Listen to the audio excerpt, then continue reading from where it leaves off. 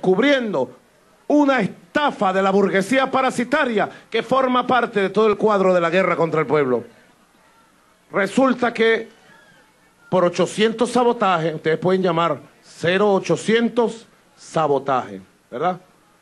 Recibimos varias, varias denuncias, esta denuncia la recibimos por 800 sabotajes, que nos dijeron que acababan de ingresar en el puerto de Puerto Cabello 50 containers que venían vacíos y que estaban defraudando, estaban robando al país con un grupo de una buena parte de productos que se estaban esperando de una empresa que se le entregaron casi 13 millones de dólares.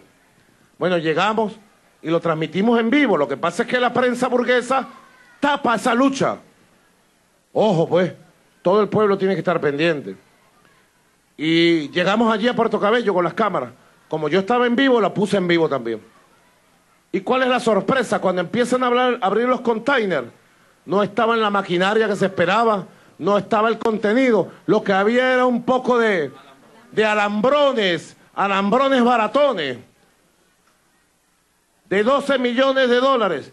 Nosotros calculamos que esta gente le robó al país 11 millones de dólares con esa estafa, porque se trajeron los containers vacíos, o llenos de basura, o llenos de alambrones. Bueno, inmediatamente ordené la captura del dueño de esa empresa, ya está preso, ya está detenido. Y vamos a actuar con fuerza porque es una estafa de la burguesía, estafa parasitaria.